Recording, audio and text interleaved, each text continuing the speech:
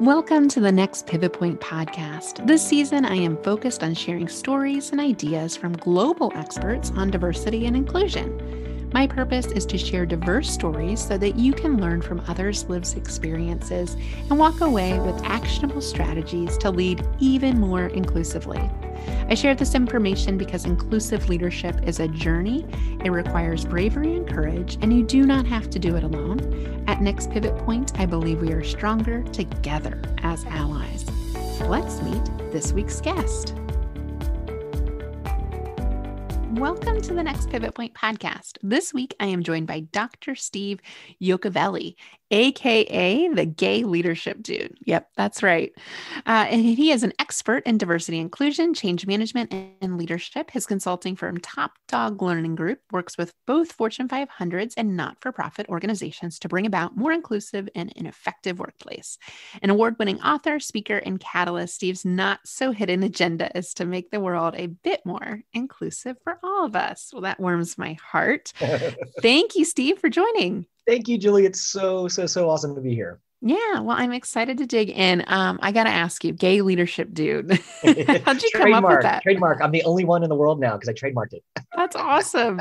How'd you come up with that? And like, how do people respond to that? I'm curious. Yeah, it's it's been really interesting. So, you know, I started Top Dog almost 13 years ago, and that's kind of been my brand. And then when I was writing my latest book, Pride Leadership, my amazing publisher um, she's just like, uh, well, she does marketing. So she was giving me all these great tips about you know, positioning it. And you, she's like, get the URL, Steve on Amazon.com. I'm like, that's brilliant. Then you just redirect where you need to go. I'm like, great. So she said, you need a personal brand. I'm like, okay. And I was kind of thinking about it. I'm like, well, it's, you know, it's a leadership book for LGBTQ and allies. So I'm like, and you know, it's about leadership. So I'm like, the gay leadership dude. And what's been really fun is as I've kind of, you know, and that's kind of like my personal brand and, you know, it's affiliated with Top Dog, of course. And um, people react to it pretty well. And I said, well, you know, three things about me really, really fast. Um, I'm gay. I self identify as a dude and I really like leadership. I'm like, so there you go. You hit all three words in a tagline. That's Boom. hard to do. I love it. Um, well, Steve, tell us. Um, I know you're super passionate about LGBTQ plus um, issues and, and education in the workplace. Um, tell us. I'm kind of curious. What's the current state? You know, early 2021. What are the, I hate to even use the word issues, but challenges yeah. of talk. I mean, we know like 50% of people are still closeted. In closet, yeah. In and the that workplace. number hasn't changed yet. It's no. So I think there's a, a, a, number of things, and Julie, you hit the, the first one. Um, I'll be intrigued to see what happens. Uh, the last time that study was done pre-COVID was, um, you know, Human Rights Campaign is usually the one who does it, and uh, that was the figure before this past summer's SCOTUS ruling about, uh, you know, gender equality and sexual orientation as, as being protected classes. And now that's a tenuous kind of legal battle, and I think there's still going to be some conversations. Uh, there is a, um, an act that's been in the Senate for forever that hasn't seen the light of day yet, called the Equality Act, which would really help um, beef up um, protections in the workplace so that uh, queer people, to use the general term, could not be fired for just being their authentic selves. So I think that's a that's still a massive issue. I do think some of the rumblings that have happened during the, the previous administration around marriage equality are still out there. Sadly enough, I mean, uh, you know, when when two of the Supreme Court justices blatantly state that they think it should be overturned, and you're like, whoa! And so I, you know, I'm looking at my my husband of 20 three years. We married. Um, see, I always forget how long we've been married because we've been together for 23 years. Um, but you know, it's uh, 14, 2014. So you know, I'm like, so they're gonna just turn that over? That's weird. So there's still that whole conversation, and yeah, it's really lovely when your rights are being debated to this day by the Supreme Court. Um, but you know, then you also kind of take in the broader context of our trans brothers and sisters and the um, just the, the treatment that they've been receiving. Now, that being said, you know, the the um, Biden administration is doing some incredible things with with inclusion, not just for the LGBTQ community, but beyond. And and so hopefully that will be addressed, or or at least make some some headway in in that respect as far as uh, really embracing gender identity and gender expression. So I think those are the top three that I personally yep. see. Yep. Yeah. I mean, if you think about the privilege uh, I I have as a straight cisgender white woman, uh, not having to worry about losing my job because of my gender identity or sexual mm. orientation. I mean, that's that's a, a gift I have just Mhm. by being Yeah. associated with the majority group. And especially for T, for the trans folks, it's Yeah. it's it's legal in a lot of states to fire someone for that. Yep. Um, and so it's not safe, right? So I understand why people are still closeted and, and we got to educate people. We know with awareness, Yeah. discrimination will go down. Hopefully. And- and I- and I think Eventually. it- I think it will. I mean, you know, um, representation truly matters. And when you see, you know, people like me or people like, you know, insert your demographic here out in the workplace, in the government, being their authentic, awesome selves, that that goes so far. I mean, I, you know, I came out at 24 and I'm I just turned 50. So I've spent more of my life as an uh, and identifying as a gay man than I have not, which is kind of fun. Um, but you know, if I if I reflect back to like what role models did I see in media, yeah, it's pretty weird. And I remember when Ellen came out on TV, and I was just like, and people were freaking out about it. Now it's just like, my goodness, you watch CW, and every other superhero is a, a homo, and it's awesome, and I love it. So you know, there's it, we're making progress, but it, there's still uh, still roads to go. Well, I, I know you and I were talking about uh, language uh, Mhm. before the show, and it's interesting using the term "homo" that you just Yeah. used too, because I usually correct people if they say homosexual. Like, actually, that's not the term we use anymore. And then I know we don't want to get like all political, like, and then people get mad because it's like political. and I can't say anything right. But tell us, like, what is good inclusive language to use with the LGBTQ plus? Yeah, it, it's a great, great question. And I really struggled with this when I was writing my book, Pride Leadership, because I know how I am and I know how I approach language and, and you know, not just, um, I'm, I'm a magpie when it comes to language. I, I worked for Disney Cruise Line for many years. And so you're surrounded by all these different cultures. And I'll just say, oh my gosh, it went all pear shaped, which is what Australian people tend to say when things like start off great and then they go all to hell. And so it's like, I picked that up. And um, I lived in France for a while. So I'll, I'll say, instead of um, like Wi-Fi, I say Wi-Fi. I just can't not say that. And I lived in England for a while, and I'll sometimes say, "What's my schedule?" And my husband looks at me like, "You're a dork." I'm like, "I can't help it," you know. But but then you start to think about other words and, and their meaning, and and I think um, we've seen our, our our black and brown brothers and sisters start to do this as well, where you take back that horrible word that maybe meant some bad things, and now it's ours. And um, there's some words I don't ever want to touch still, but um, but queer is one of those words that we as a community internally we're still trying to grapple with it. I know for me it took me a while to um, be okay with saying that because you know scars of children and, and you know calling you what those names are. But now you have a, a newer generation who they're like, don't put me in a box. I'm just queer. Like cool. Okay. That's that's that's awesome. Or or you know also when you say lgbtq um, i say pl- i say plus see there's another french ism instead of plus um, which is when people laugh at me for that. I'm like i can't help it. But um but the q is either queer or questioning.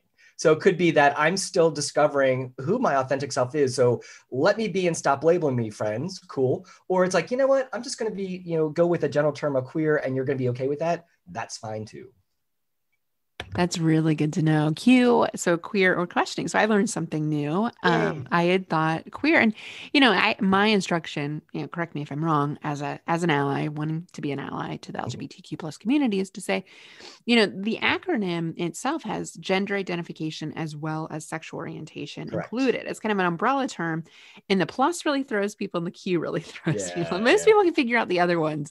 Trans, you know, well, it kind of depends. And but it's important that we understand those two things are not correlated just Yeah. because they're protected together in that cat in those categories.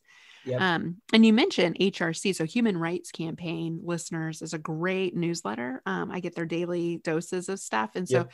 they're measuring this, doing studies on Yeah, this. yeah. If you want to learn more inclusive language, is a great resource, and they measure it too. They hold Yes. companies accountable, which is really fun.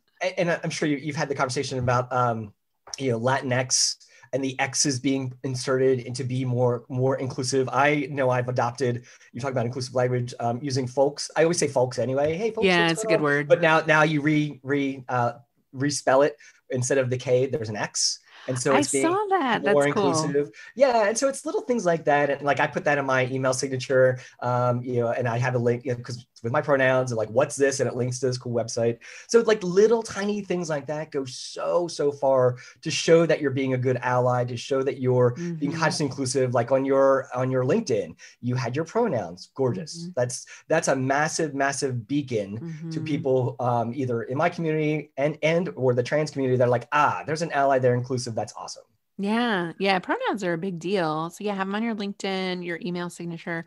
I used to have them on my Zoom. I realized Zoom just updated. And every time you Oh, update, you have to update your profile. So I was like, shoot, I need to do that. I keep thinking Yeah. about that when I log in, but it's a signal. Yeah. And I think sometimes for straight cisgender people, which cisgender means you identify the same gender of which you were assigned at birth, usually by your biology. Um, so just if you're straight or cisgender or both, especially, you're like, why do I need to do that? Like everyone knows I'm a woman, right? And I was Right, kind of right. wrestling with this a few years ago before someone helped me. And just like what you said, it's kind of like a bat signal. Like you're signaling up to everybody else, like I'm Exactly. here, I want to be supportive.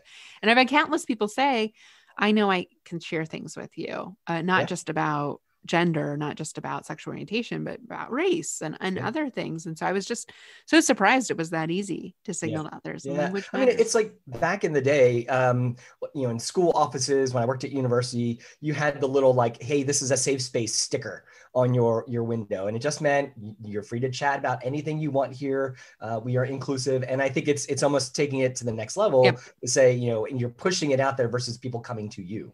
Yeah. Yeah. And I and I often share uh, in my work on allyship, allyship is in the eye of the beholder.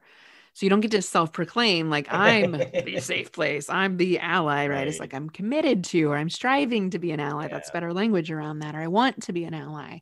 Um, talk to us about allyship, especially in the LGBTQ plus community. I mean, tremendous strides. If you think about social change, like LGBTQ plus has gotten so much better at awareness and acceptance in such a short period of time you know we i think we can attribute some of that to allies of course the hard work of the lgbtq plus community of Sure. course but tell us like the role of allies in the movement i'm curious in your perspective Uh, from my perspective, I think one of the biggest challenges to LGBTQ plu is for the most part, you're a hidden minority.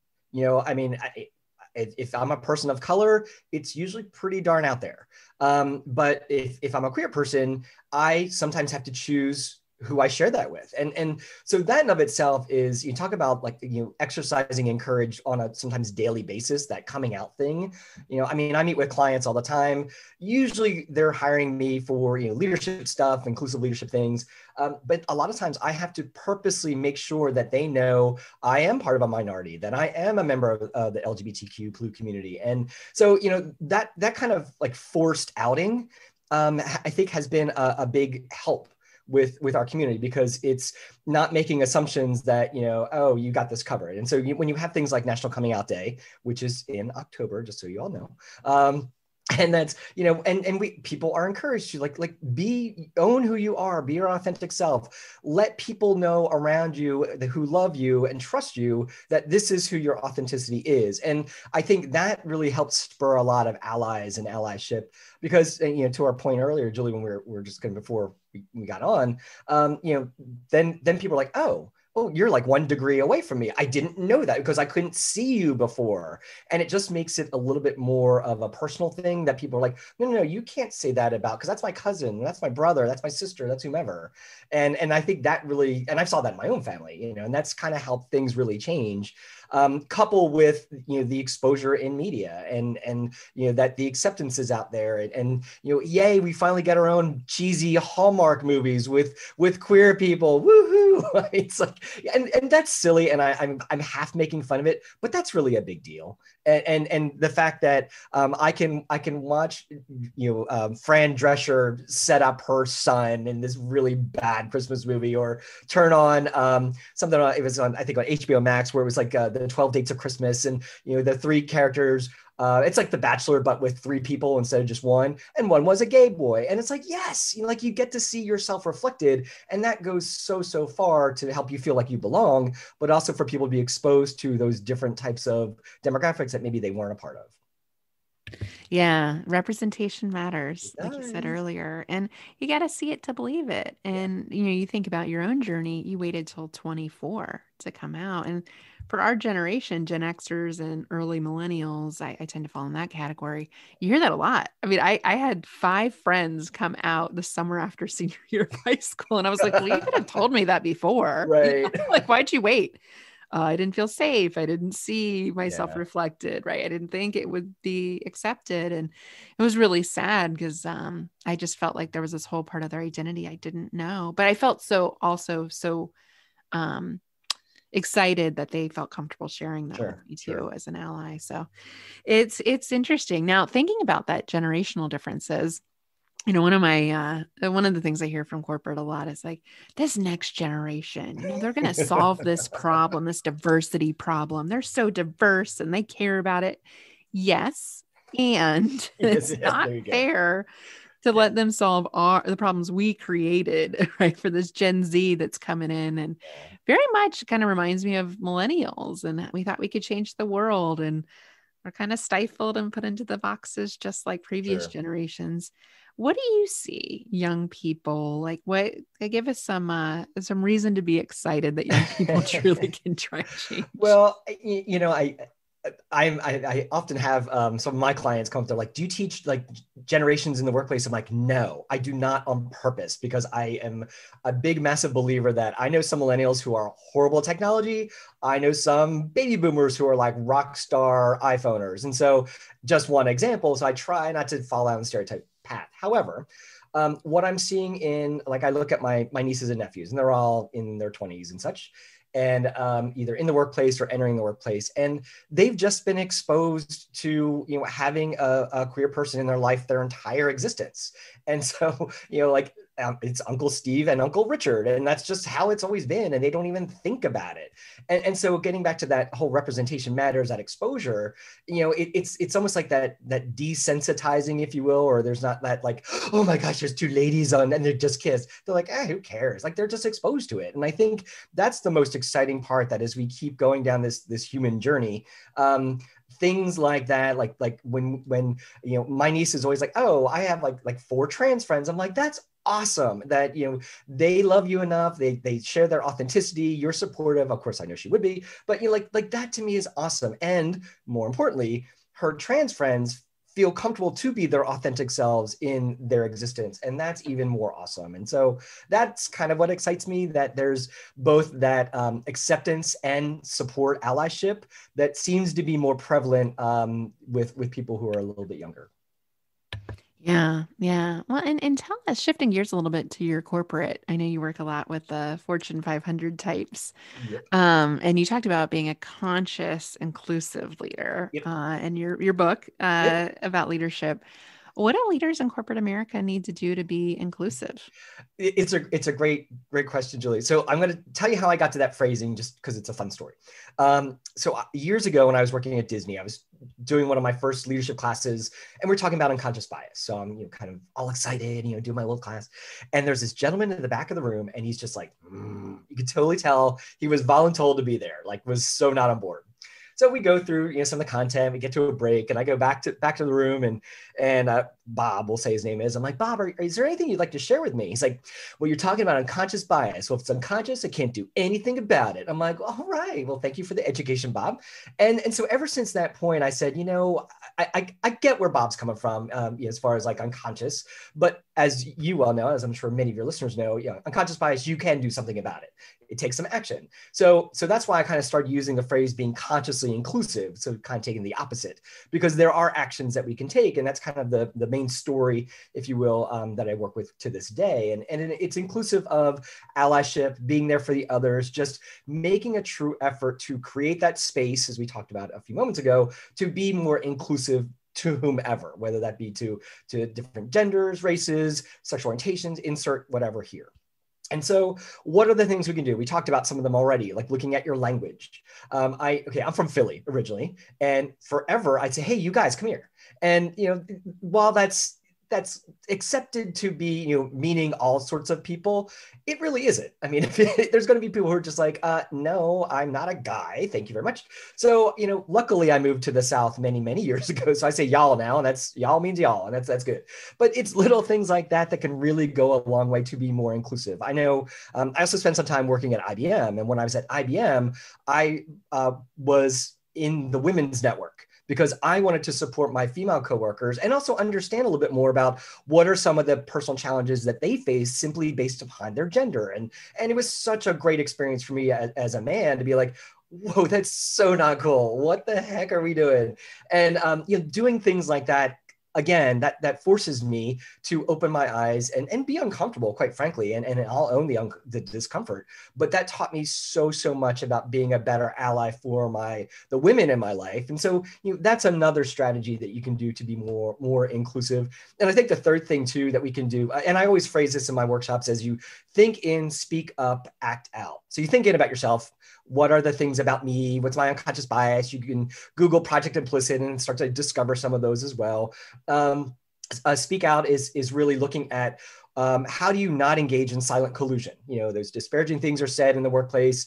Um, you know how all women drive, and you don't say anything. Well, you're supporting that. You don't want to do that. That's a gorgeous way as a leader to erode your credibility is to engage in silent collusion and, and, and to really discredit that or, or not refute those disparaging statements being said. Um, and then the last really is um, the act out is looking at your your organization. You know what are the forms in hr are they are they the gender binary? You, you male female uh, that's not very inclusive.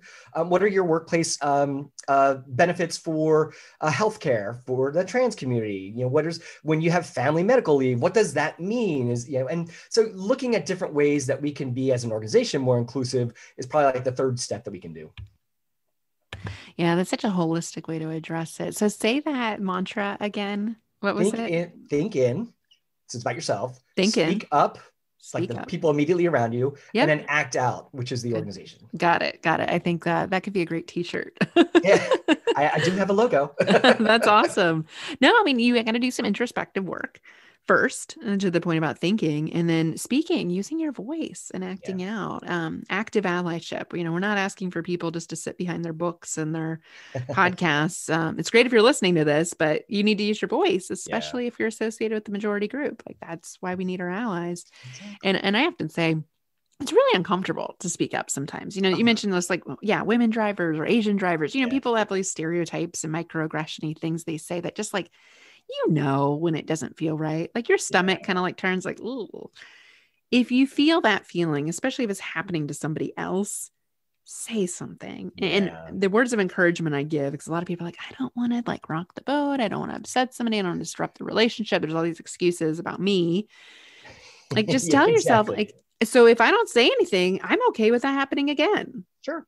Right. And like, people are, and, and as a leader, people are always watching you and Yeah. they're watching what you do and don't do, what you say and don't say. I um as part of it's in my book and it's one of the things I teach in, in a lot of my my speeches and stuff. And matter of fact, we'll put it in the show notes because I created like a, a we create self-paced learning. We call them learning tapas, like little tiny nuggets. Um, and there's six ways to beat silent collusion in the workplace. So it's called MOPSAM. Um, and it's it's a cheeky, cheeky way to remember it. So I, the way I introduce it um, in the thing is it's a picture of this very, very woolly dog, uh, which is called a Hungarian Puli Mop or Mop Dog, and his name is Sam. So breed and name, Mop Sam. It's the six ways you can remember, and it, it's you know this is the the educator and me kind of geeking out as a doctor. And um, it's hard so- to remember stuff in the moment. I mean, acronyms, Totally. imagery works. Yep. And and so it just you know it's um like and it's things like uh you you the A in Mopsam is ask. So you you ask what did somebody mean by that? And of course watching your tone like Julie, what did you mean by that? No, that's not how you do it. It's Julie, what did you mean by that? That you know, you know how all women drive. And neutral tone, ask the question and just see what the response is. Typically someone's reacting from that unconscious and they're like, oh, rats, I didn't realize that, you know. Or um, you can go all the way to um, to say a non-word, uh, which is like, and this happened to me. This story about like, you know how women drive is actually a true story. Um, I was in in Atlanta at a client site. We were like closing out a project. It was great. And one one of my top doggers was there, and this all the rest of like the 30 people on the project, and we're just ready to start. And the senior executive at the end of the table, literally the one signing the checks for my company for this change management project, was like, "Well, you know how women drive," and it was like the 80s record screech, you know. it was just like, and we all just kind of turned and and but no one said a word at that one moment. And that's of course when we were all engaging in silent inclusion. Well, what seemed to be like 30 minutes was really like a few moments. This um, young gentleman who wasn't even at the table, he was kind of like at the, the chair against the wall, just joined the company not that long ago. He just folded his arms and went, damn. And it was crystal clear how he thought about that comment. And that kind of led, you know, everyone to kind of give it. That's that's one of the six strategies is you say a non-word, like damn, what? You know, that kind of stuff.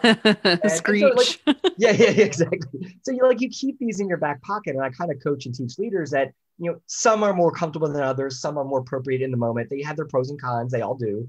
But um, just keep them there because when that that disparaging comment happens, and they will, mm-hmm. what are you going to do in that moment as an inclusive leader?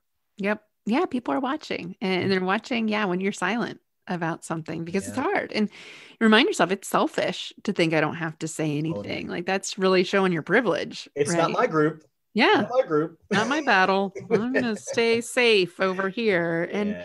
You know, at the end of the day, like, what's it going to cost you? Like, people aren't going to trust you. People aren't going to share hard things with you. People if, aren't, you're not going to get the most from your team. Yeah. If Steve doesn't defend that group, what's he going to do when it's my group? Right. Yep. Right. And imagine how all the women feel like, oh, he doesn't like women. You know, that's where yeah, my mind right, would be going. yeah. Well, Steve, this has been so fantastic. Uh, good talk to you forever. Um, these tools, yes, let's link to those in the show notes. So people following, you want to listen, get Steve's book. Um, just kind of in wrapping up, how can people get in touch with you? How can they yeah. follow your work? So um, we have a centralized hub or a doghouse, I guess you might say, um, topdoglearning.biz, B-I-Z. Um, there you can find free stuff like the MopSam link, um, stuff about the book. There's free chapters and audiobooks and stuff like that. Uh, and then all of our online classes are also held there as well. And you can also send me a message, uh, me or my team. Uh, uh Top Dogger will happily stand by. I love it. Yes, that MopSam. Uh, I think people are really looking for tangible tools. So yeah take him up on it. Download those free resources and get in touch with Steve. Thanks so much for being on today. It was so fun to talk to you. So much, Julie. This is awesome. I appreciate you listening to this episode. If you like this podcast, the best way you can be an ally is to write a review on iTunes, on Spotify, on Google, or wherever you listen to your podcasts. Every review helps other allies find us. I host this podcast because I believe we are stronger together as allies.